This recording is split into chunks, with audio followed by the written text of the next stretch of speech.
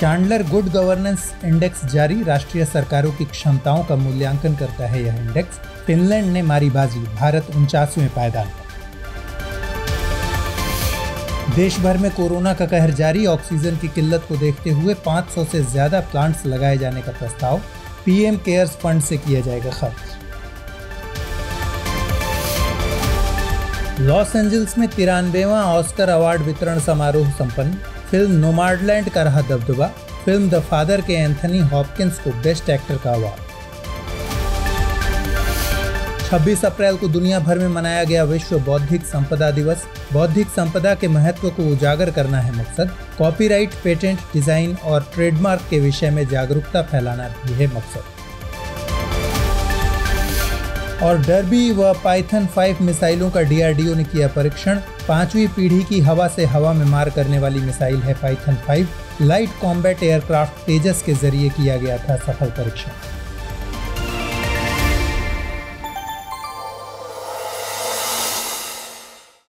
आइए खबरों की शुरुआत करें। हाल ही में चांडलर इंस्टीट्यूट ऑफ़ गवर्नेंस ने चांडलर गुड गवर्नेंस इंडेक्स जारी किया है। सी जी जी आई दुनिया में प्रभावी राष्ट्रीय सरकार का सबसे व्यापक सूचकांक है। यह 104 देशों में सरकारों की क्षमताओं और प्रभावशीलता को मापता है। 104 देशों में भारत इस इंडेक्स में उनचासवें स्थान पर है। फिनलैंड पहले पायदान पर है। दूसरे और तीसरे नंबर पर स्विट्जरलैंड और सिंगापुर काबिज हैं। भारत के पड़ोसी देशों की बात करें तो पाकिस्तान इस इंडेक्स में नब्बेवें, श्रीलंका चौहत्तरवें और नेपाल बानवेवें स्थान पर है। वहीं ब्रिक्स देशों में चीन इकतालीसवें, ब्राज़ील सड़सठवें, रूस अड़तालीसवें और दक्षिण अफ्रीका सत्तरवें स्थान पर है। यह सूचकांक सात स्तंभों, मसलन नेतृत्व और दूरदर्शिता, मज़बूत कानून और नीतियाँ, मज़बूत संस्थान, वित्तीय प्रबंधन, आकर्षक बाज़ार, वैश्विक प्रभाव एवं प्रतिष्ठा और लोगों की उन्नति में सहायता पर आधारित है। आपको बता दें कि चांडलर इंस्टीट्यूट ऑफ़ गवर्नेंस एक अंतर्राष्ट्रीय गैर लाभकारी संगठन है। इसका मकसद अनुसंधान, प्रशिक्षण और सलाह के माध्यम से सार्वजनिक संस्थागत क्षमता को मज़बूत करना है। इसका मुख्यालय सिंगापुर में है। प्रधानमंत्री श्री नरेंद्र मोदी ने पंचायती राज दिवस के अवसर पर स्वामित्व योजना के तहत ई प्रॉपर्टी कार्ड के वितरण की शुरुआत की। इस मौके पर लगभग चार दशमलव शून्य नौ लाख संपत्ति कार्ड वितरित किए गए। इसके साथ ही देश में स्वामित्व योजना के कार्यान्वयन की शुरुआत हो गई है। इस अवसर पर प्रधानमंत्री ने राष्ट्रीय पंचायत पुरस्कार 2021 भी प्रदान किए। इन पुरस्कारों को विभिन्न श्रेणियों के तहत दिया गया है। इसमें 224 पंचायतों को दीनदयाल उपाध्याय पंचायत सशक्तिकरण पुरस्कार 30 ग्राम पंचायतों को नानाजी देशमुख राष्ट्रीय गौरव ग्राम सभा पुरस्कार, उनतीस ग्राम पंचायतों को ग्राम पंचायत विकास योजना पुरस्कार 30 ग्राम पंचायतों को बाल सुलभ ग्राम पंचायत पुरस्कार प्रदान किए गए। इसके साथ ही बारह राज्यों को ई पंचायत पुरस्कार भी प्रदान किए गए। आपको बता दें कि स्वामित्व योजना 24 अप्रैल 2020 को लॉन्च की गई थी। इस योजना का उद्देश्य ग्रामीण भारत के लिए इंटीग्रेटेड संपत्ति सत्यापन समाधान प्रदान करना है। इस योजना में मैपिंग और सर्वेक्षण के आधुनिक तकनीकी साधनों का उपयोग किया जा रहा है। इससे सटीक भूमि रिकॉर्ड बनाने में सहायता मिलेगी। इस योजना के तहत 2021 से 2025 के दौरान छह दशमलव छह दो लाख गाँवों को कवर करने का प्रावधान किया गया है। योजना के पायलट चरण को 2020-2021 के दौरान महाराष्ट्र, कर्नाटक, हरियाणा, उत्तर प्रदेश, उत्तराखंड, मध्य प्रदेश और पंजाब व राजस्थान के चुनिंदा गाँवों में लागू किया गया था। आपको बता दें कि 24 अप्रैल को हर साल पंचायती राज दिवस के रूप में मनाया जाता है। अस्पतालों में ऑक्सीजन की उपलब्धता सुनिश्चित करने के लिए पीएम केयर्स फंड के ज़रिए ऑक्सीजन उत्पादन संयंत्र स्थापित किए जाएँगे। इसके तहत देश भर में सार्वजनिक स्वास्थ्य केंद्रों पर पाँच सौ इक्यावन पीएसए, यानी प्रेशर स्विंग, एब्जॉर्प्शन, चिकित्सा ऑक्सीजन उत्पादन संयंत्र स्थापित किए जाने की योजना है। केंद्र सरकार के निर्देशानुसार इन संयंत्रों की स्थापना के लिए धन आवंटन को मंजूरी मिली है। ये संयंत्र विभिन्न राज्यों या केंद्र शासित प्रदेशों में जिला मुख्यालयों के आइडेंटिफाइड सरकारी अस्पतालों में स्थापित किए जाने हैं। इन संयंत्रों से जिला स्तर पर ऑक्सीजन की उपलब्धता सुनिश्चित करने में काफ़ी मदद मिलेगी। ऑक्सीजन की खरीद प्रक्रिया स्वास्थ्य एवं परिवार कल्याण मंत्रालय के ज़रिए की जाएगी। ऑक्सीजन उत्पादन सुविधा से अस्पतालों और ज़िले की दिन प्रतिदिन की मेडिकल ऑक्सीजन की जरूरतें पूरी हो सकेंगी। जिला मुख्यालयों में पीएसए ऑक्सीजन उत्पादन संयंत्र स्थापित करने का मकसद सार्वजनिक स्वास्थ्य प्रणाली को और मज़बूत करना है। साथ ही यह सुनिश्चित करना है कि इनमें से प्रत्येक अस्पतालों में कैप्टिव ऑक्सीजन उत्पादन की सुविधा बनी रहे। आपको बता दें कि liquid medical oxygen LMO captive oxygen उत्पादन के टॉपअप के रूप में काम करेगा। इस प्रणाली से यह सुनिश्चित किया जाएगा कि जिलों के सरकारी अस्पतालों में ऑक्सीजन आपूर्ति में अचानक कोई व्यवधान न उत्पन्न हो सके। इसके अलावा इस बात का भी ध्यान रखा जाएगा कि कोरोना मरीजों और अन्य जरूरतमंद मरीजों को निर्बाध रूप से ऑक्सीजन मिल सके। हाल ही में अमेरिका के लॉस एंजल्स में तिरानबेवे अकादमी अवार्ड यानी ऑस्कर अवार्ड वितरित किए गए। अलग अलग कैटेगरी में कई फ़िल्मों, अभिनेताओं एवं अभिनेत्रियों समेत फ़िल्म इंडस्ट्री से जुड़े तमाम लोगों को इस अवार्ड से सम्मानित किया गया।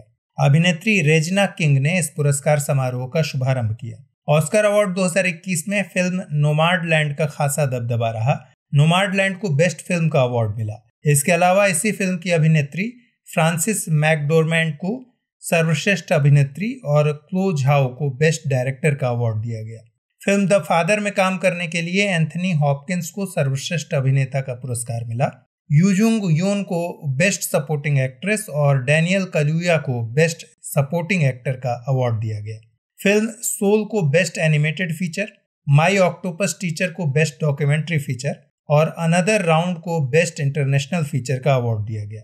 इसके अलावा टू डिस्टेंस स्ट्रेंजर्स को best live action short If Anything I Love You को बेस्ट एनिमेटेड शॉट और कॉलेट को बेस्ट डॉक्यूमेंट्री शॉट अवार्ड से सम्मानित किया गया है।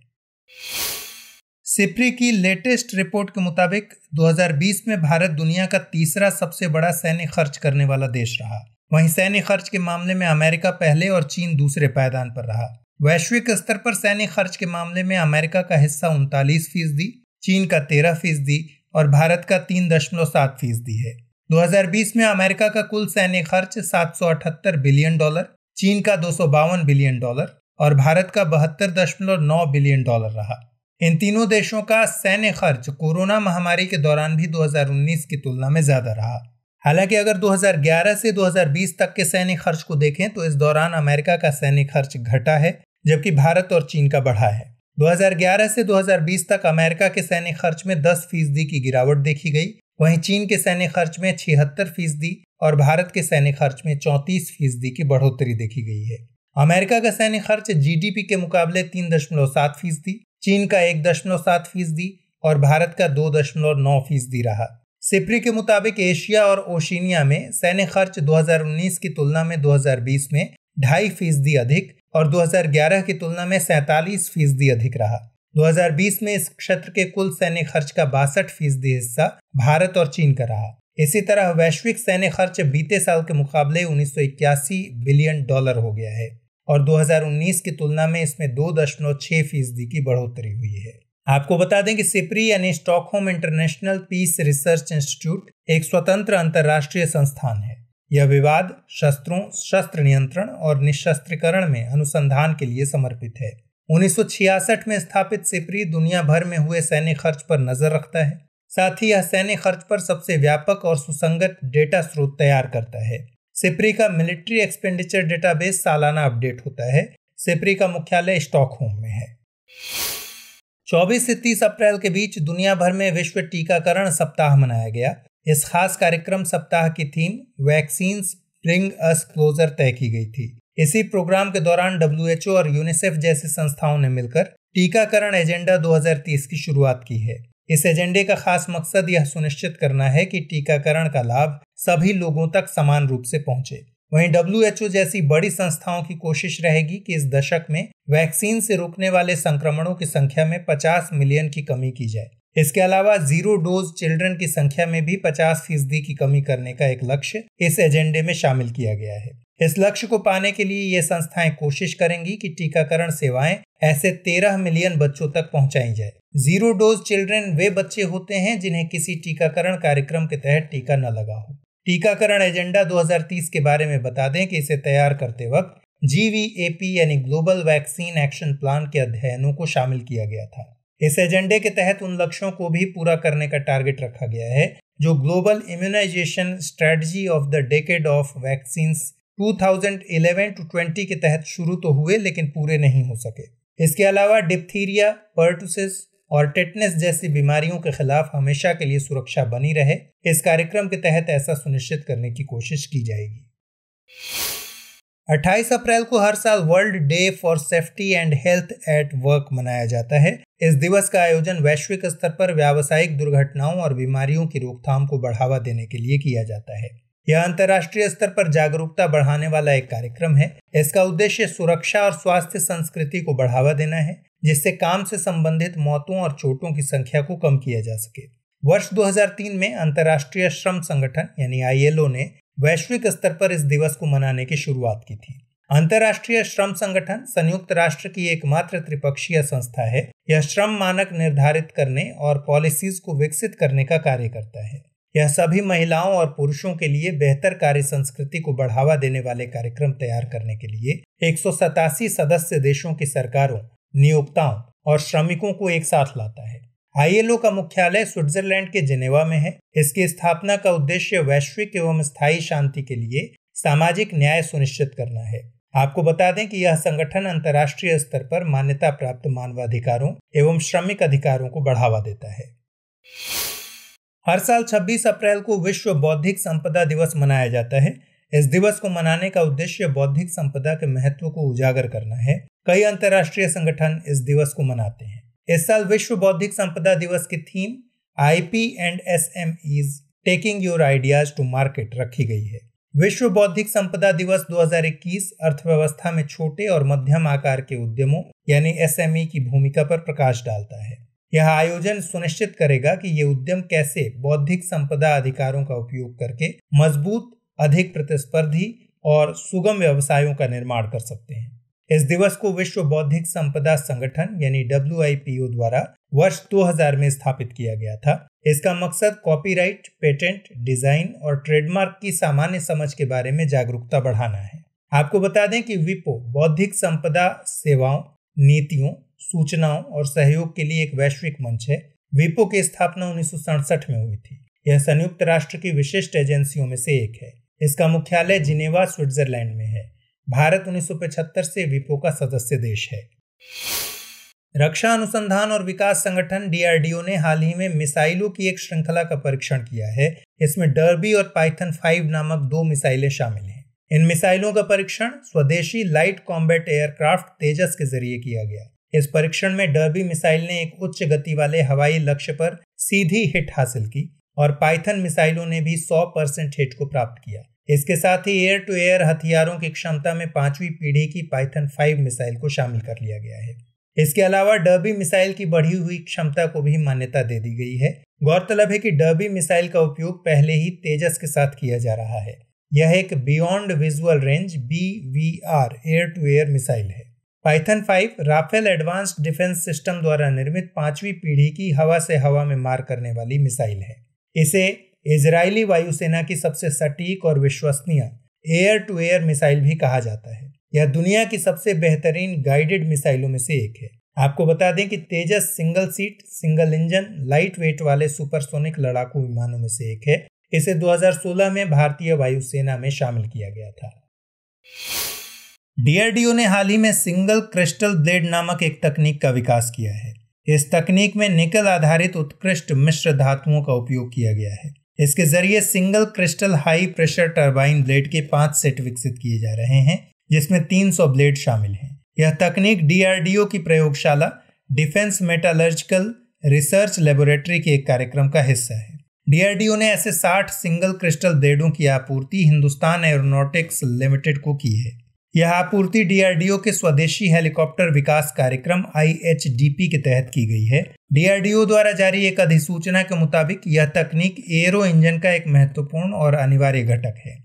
इस पर संगठन बीते लंबे समय से काम कर रहा है। सामरिक और रक्षा कार्यों में उपयोग किए जाने वाले हेलीकॉप्टर्स को कठिन परिस्थितियों में कार्य करना पड़ता है। इसके लिए छोटे, हल्के, लेकिन शक्तिशाली एयरो इंजन की आवश्यकता होती है। ऐसे में इस क्षमता को प्राप्त करने के लिए जटिल आकार और ज्यामितीय वाली उत्कृष्ट मिश्र धातुओं से बने अत्याधुनिक सिंगल क्रिस्टल ब्लेड का उपयोग किया जाता है। ये सुपर मिश्र धातुएँ अधिक तापमान में भी कार्य करने में सक्षम होती हैं। भारत में इस तकनीक के विकास से टेक्नोलॉजी के स्वदेशीकरण को बढ़ावा मिलेगा, जिससे आत्मनिर्भर भारत की परिकल्पना साकार हो सकेगी। आपको बता दें कि विश्व में कुछ चुनिंदा देशों, मसलन संयुक्त राज्य अमेरिका, यूके, फ्रांस और रूस इत्यादि के पास ही इस प्रकार के सिंगल क्रिस्टल ब्लेड तकनीक को डिज़ाइन करने और उनका विनिर्माण करने की क्षमता है। स्मार्ट सिटीज़ में जैविक कचरे को किस तरह बायोचार या ऊर्जा में बदला जा सकता है, इसके लिए वैज्ञानिकों की एक टीम ने नया ज़रिया निकाला है। इस सुविधा को जल्द से जल्द शहरों में लागू करने पर काम किया जाएगा। दरअसल वैज्ञानिकों ने एक इंटीग्रेटेड सोलर ड्रायर और पायरोलिसिस पायलट प्लांट तैयार किया है। दोनों ही उपकरण जैविक कचरे का सही इस्तेमाल करने की दिशा में नई अप्रोच देते हैं। यह पायलट प्रोजेक्ट पायरोसोल नाम के एक इंडो जर्मन प्रोजेक्ट का हिस्सा है, जिसे स्मार्ट सिटीज़ में कचरे को ऊर्जा में बदलने के लिए लॉन्च किया गया था। इस प्रोजेक्ट में शामिल तकनीकी के ज़रिए आखिरकार फाइब्रस ऑर्गेनिक वेस्ट और सीवेज की गाद को स्वच्छ और कीमती बायोचार में बदलने में मदद मिलेगी। इससे आगे चलकर एनर्जी रिकवरी कार्बन आच्छादन और पर्यावरण सुधार में भी मदद मिलेगी। वहीं इस प्रोजेक्ट में एक इंटीग्रेटेड अप्रोच के साथ शहरी कचरे को इकट्ठा करने, प्रबंधित करने, उपचार करने और निस्तारण करने पर भी ज़्यादा ध्यान दिया जाएगा। आपको बता दें कि पायरोसोल प्रोजेक्ट पर काम होने के बाद आईजीएसटीसी यानी Indo German science and technology centre ने इसे सीएसआईआर को सौंप दिया। आईजीएसटीसी की स्थापना भारत सरकार और जर्मनी सरकार ने मिलकर की है। आईजीएसटीसी अपने टू प्लस टू प्रोजेक्ट के तहत अकादमिक और औद्योगिक सहयोग के ज़रिए नवाचार केंद्रित शोध एवं विकास परियोजनाओं को मज़बूत करता है। अब बायोचार के बारे में जानते हैं। दरअसल बायोचार चारकोल का स्थायी और कार्बन समृद्ध रूप होता है, जिसे मिट्टी पर इस्तेमाल किया जाता है। कुछ बायोचार मिट्टी की उर्वरता, जल धारण क्षमता और उत्पादकता में बढ़ोतरी कर सकते हैं। इसके अलावा इससे ग्रीन हाउस गैस उत्सर्जन में भी कमी आती है। जानकारों की माने तो फ़सल अपशिष्ट, घास, लकड़ी, छाल या बुरादा अथवा जैविक अपशिष्टों को अगर अत्यधिक तापमान और निम्न ऑक्सीजन पर प्रोसेस किया जाए तो बायोचार बनाया जा सकता है। इस पूरी प्रक्रिया को ही दरअसल पायरोलिसिस कहा जाता है। हाल ही में खगोलविदों ने एक ऐसे ब्लैक होल की खोज की है जो अभी तक रिकॉर्ड किए गए ब्लैक होल्स में सबसे छोटा हो सकता है। इतना ही नहीं, यह ब्लैक होल पृथ्वी के सबसे पास भी है। अपनी तरह का अनोखा ब्लैक होल होने के चलते खगोलविदों ने इसे द यूनिकॉर्न नाम दिया है। इसके अलावा यह ब्लैक होल मोनोसेरोस तारामंडल में स्थित है, जिसका मतलब यूनिकॉर्न से है। इस ब्लैक होल के संदर्भ में जानकारी Monthly Notices of the Royal Astronomical Society नामक पत्रिका में प्रकाशित की गई। यह ब्लैक होल पृथ्वी से लगभग 1500 प्रकाश वर्ष यानी 9.5 ट्रिलियन किलोमीटर दूर है। लिहाजा इसे पृथ्वी से सबसे नज़दीक ब्लैक होल माना जा सकता है। हमारे सौर मंडल का सबसे निकटतम तारा प्रोक्सीमा सेंचुरी है, जो पृथ्वी से चार प्रकाश वर्ष दूर है। ब्लैक होल्स इलेक्ट्रोमैग्नेटिक रूप से गहरे होते हैं, लिहाजा उन्हें खोजना मुश्किल होता है। आपको बता दें कि ब्लैक होल्स की कुल तीन श्रेणियाँ होती हैं। पहली श्रेणी है तारकीय द्रव्यमान ब्लैक होल यानी स्टेलर मास ब्लैक होल्स। ये ब्लैक होल्स किसी एकल तारे के ग्रेविटेशनल कोलैप्स से बनते हैं, जिसमें यूनिकॉर्न जैसे सबसे छोटे ब्लैक होल शामिल हैं। दूसरी श्रेणी है सुपर मैसिव ब्लैक होल्स। ये ब्लैक होल्स पृथ्वी से लगभग छब्बीस हज़ार प्रकाश वर्ष की दूरी पर स्थित होते हैं। इनका द्रव्यमान सूर्य के द्रव्यमान का चार मिलियन गुना होता है।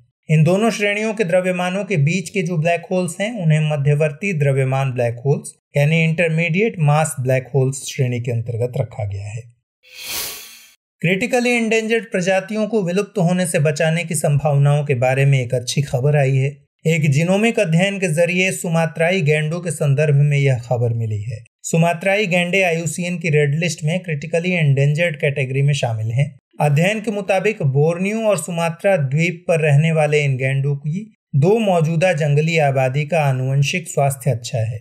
लेकिन इनके संदर्भ में चौंकाने वाली बात यह है कि इनका इनब्रीडिंग लेवल काफ़ी कम होता है। इनब्रीडिंग से आनुवंशिक दोषों और आनुवंशिक विविधता में कमी आती है। जब किसी प्रजाति के दीर्घकालिक अस्तित्व की बात आती है तो आनुवंशिक विविधता उन प्रमुख कारकों में से एक है, जो प्रजातियों को भविष्य के पर्यावरणीय परिवर्तनों और बीमारियों के अनुकूल बनाता है। गैर आनुवंशिक कारकों की वजह से सुमात्राई राइनो अभी भी विलुप्त होने की कगार पर है। शोधकर्ताओं ने बोर्नियो के साथ सुमात्रा के आठ और मलय प्रायद्वीप के आठ गैंडों की जीनोम सीक्वेंसिंग की है। मलेशियाई प्रायद्वीप पर अब मात्र अस्सी गैंडे ही बचे हैं। सुमात्राई गैंडे बालदार गैंडों के निकटतम जीवित परिवार से संबंधित हैं। बालदार गैंडे अंतिम हिमयुग की प्रजातियों में से एक थे।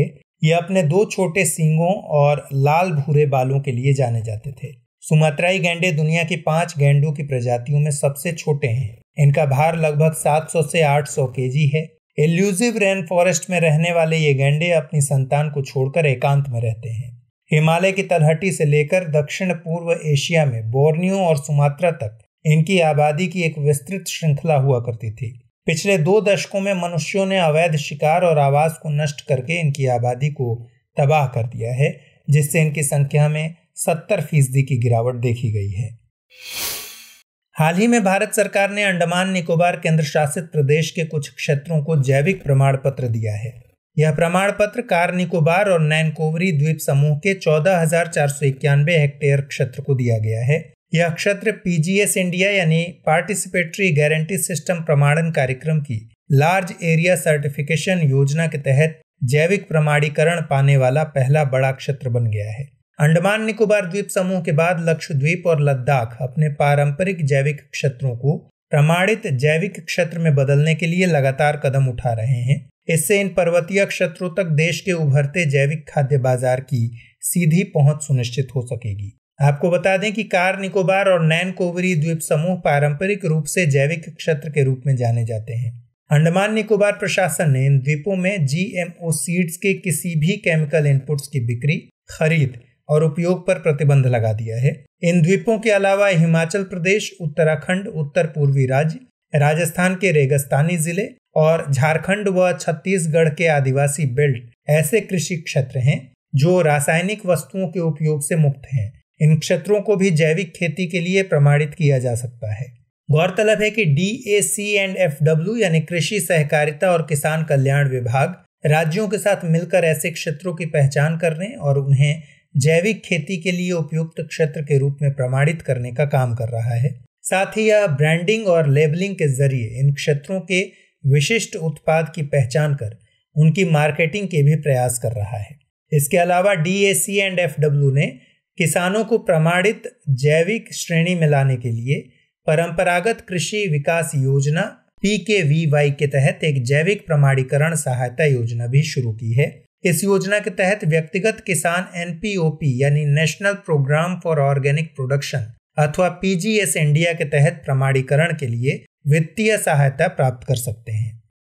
तो फ़िलहाल इस बुलेटिन में इतना ही। खबरों को विस्तार से पढ़ने के लिए विज़िट कीजिए www.drishtias.com साथ ही दृष्टि एस के हिंदी और अंग्रेज़ी यूट्यूब चैनल को लाइक शेयर और सब्सक्राइब करना मत भूलिए। लेकिन चलते चलते डालते हैं कुछ छोटी मगर ज़रूरी खबरों पर नज़र। गृह मंत्रालय ने दिल्ली सरकार के राष्ट्रीय राजधानी क्षेत्र दिल्ली सरकार, यानी जीएनसीटीडी संशोधन अधिनियम 2021 को अधिसूचित कर दिया है। इस संशोधन अधिनियम का उद्देश्य इसे राजधानी की जरूरतों के लिए अधिक प्रासंगिक बनाना निर्वाचित सरकार और उपराज्यपाल यानी एलजी के उत्तरदायित्व को परिभाषित करना और विधायिका तथा कार्यपालिका के बीच सौहार्दपूर्ण संबंध बनाना है। यह संशोधन राष्ट्रीय राजधानी क्षेत्र दिल्ली में बेहतर प्रशासन सुनिश्चित करेगा। बता दें कि इस अधिनियम को भारत के राष्ट्रपति द्वारा 28 मार्च 2021 को स्वीकृति मिल गई थी। प्रधानमंत्री नरेंद्र मोदी की अध्यक्षता में केंद्रीय मंत्रिमंडल ने भारत सरकार और ब्रिटेन सरकार के बीच समझौते पर हस्ताक्षर किए। यह समझौता दोनों देशों के सीमा शुल्क विभागों के बीच खुफिया जानकारी साझा करने के लिए एक कानूनी ढांचा प्रदान करेगा। साथ ही यह कस्टम अपराधों की रोकथाम और जाँच में भी मदद करेगा। इस समझौते से देशों के बीच सीमा शुल्क मूल्य, टैरिफ वर्गीकरण आदि की जानकारी के आदान प्रदान में मदद मिलेगी। हाल ही में राष्ट्रीय महिला आयोग ने गर्भवती महिलाओं के लिए एक व्हाट्सएप नंबर लॉन्च किया है। यह helpline number nine three five four nine five four double two four है। यह हेल्पलाइन नंबर मैसेज ओनली की सुविधा देता है। बता दें कि यह पूरे देश में चौबीसों घंटे चिकित्सा सहायता प्रदान करेगा। राष्ट्रीय महिला आयोग ने गर्भवती महिलाओं की शिकायतों के बाद एक डेडिकेटेड टीम की स्थापना भी की है। भारतीय सेना ने हाल ही में लद्दाख के छात्रों के लिए शैक्षिक अवसर प्रदान करने के लिए लद्दाख इग्नाइटेड माइंड्स परियोजना की शुरुआत की। इसके लिए भारतीय सेना ने हिंदुस्तान पेट्रोलियम कॉरपोरेशन लिमिटेड और कानपुर स्थित एक गैर सरकारी संगठन, राष्ट्रीय एकता और शैक्षणिक विकास संगठन के साथ दो समझौतों पर हस्ताक्षर किए हैं। इस कार्यक्रम का उद्देश्य बेहतरीन शैक्षणिक संस्थानों में अध्ययन करने का अवसर प्रदान करना है। प्रोजेक्ट लद्दाख इग्नाइटेड माइंड्स एक उत्कृष्टता और देखभाल हेतु केंद्र की परिकल्पना लद्दाख के युवाओं के लिए बेहतर भविष्य को सुरक्षित करने के लिए की गई है। भारतीय और फ्रांसीसी नौसेना के बीच द्विपक्षीय अभ्यास वरुण 2021 का 19वां संस्करण 25 से 27 अप्रैल 2021 तक अरब सागर में आयोजित किया गया। इस अभ्यास में सतह और एंटी वेपन फायरिंग सामरिक युद्ध अभ्यास क्रॉस डेक हेलीकॉप्टर लैंडिंग और एयर डिफेंस और पनडुब्बी रोधी अभ्यास शामिल थे। बता दें कि यह द्विपक्षीय अभ्यास हिंद महासागर के पश्चिमी अरब सागर क्षेत्र में संपन्न हुआ। हाल ही में भूटान में प्रोजेक्ट दंतक के 60 साल पूरे हुए हैं। बता दें, भूटान के सामाजिक, आर्थिक विकास और कनेक्टिविटी के महत्व की पहचान करते हुए दंतक को राज्य में मोटर योग्य सड़कों के निर्माण का काम सौंपा गया था। प्रोजेक्ट दंतक की स्थापना 24 अप्रैल 1961 को भूटान के तीसरे राजा और तत्कालीन प्रधानमंत्री जवाहरलाल नेहरू द्वारा की गई थी। गांबिया ने दुनिया भर में अंधेपन के प्रमुख कारणों में से एक ट्रैकोमा को समाप्त कर दिया है। गांबिया 2018 में घाना के बाद यह उपलब्धि हासिल करने वाला दूसरा अफ्रीकी राज्य बन गया है। ट्रैकोमा बैक्टीरिया द्वारा आँखों में होने वाला संक्रमण है जो पलकों को नुकसान पहुंचाता है और पलकों को अंदर की ओर मुड़ने का कारण बनता है। यदि इसे सर्जरी से ठीक नहीं किया जाता है तो इससे अपरिवर्तनीय विजन लॉस यानी इरिवर्सिबल विजन लॉस और अंधापन यानी ब्लाइंडनेस हो सकता है। मध्य प्रदेश के बुतनी में स्थित central farm machinery trading and testing institute में पहली बार इलेक्ट्रिक ट्रैक्टर का परीक्षण किया है। संस्थान को प्रारंभ में इलेक्ट्रिक ट्रैक्टर के लिए गोपनीय परीक्षण के तहत ही आवेदन प्राप्त हुआ। आवेदन प्राप्त होने के बाद संस्थान ने ट्रैक्टर का परीक्षण किया और फरवरी 2021 में ड्राफ्ट टेस्ट रिपोर्ट जारी की। ड्राफ्ट टेस्ट रिपोर्ट जारी होने के बाद परीक्षण की प्रकृति को गोपनीय से वाणिज्यिक में बदलने का अनुरोध स्वीकार कर लिया गया है। बता दें कि इलेक्ट्रिक ट्रैक्टर अन्य प्रकार के ट्रैक्टरों की तुलना में पर्यावरण के ज़्यादा अनुकूल हो सकता है। मौसम और जलवायु परिवर्तन का पूर्वानुमान लगाने के लिए दुनिया के सबसे शक्तिशाली सुपर कंप्यूटर का निर्माण करने के लिए माइक्रोसॉफ्ट और यूके के मेट ऑफ़िस ने मिलकर काम किया है। 2022 में इसके चालू होने की संभावना है। बता दें कि फरवरी 2020 में यूके सरकार ने इस सुपर कंप्यूटर को विकसित करने के लिए एक बिलियन पाउंड की फंडिंग की घोषणा की थी। हाल ही में सऊदी ग्रीन इनिशिएटिव और मिडल ईस्ट ग्रीन इनिशिएटिव की शुरुआत की गई है। इसकी शुरुआत सऊदी अरब द्वारा जलवायु परिवर्तन के खतरे से निपटने के लिए की गई है। एसजीआई पहल का उद्देश्य वनस्पति आवरण को बढ़ाना, कार्बन उत्सर्जन को कम करना, प्रदूषण और भूमि क्षरण को कम करना और समुद्री जीवन को संरक्षित करना है। वहीं एम का उद्देश्य समुद्री और तटीय पर्यावरण को संरक्षित करना प्राकृतिक भंडार और संरक्षित भूमि के अनुपात में वृद्धि, तेल उत्पादन के नियमन में सुधार, स्वच्छ ऊर्जा हेतु नवीकरणीय ऊर्जा संसाधनों द्वारा ऊर्जा उत्पादन को बढ़ावा देना है।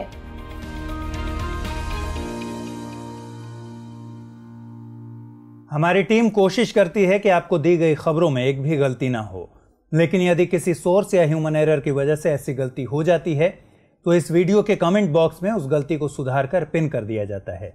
और यह आपको कमेंट बॉक्स में सबसे ऊपर दिखाई देता है।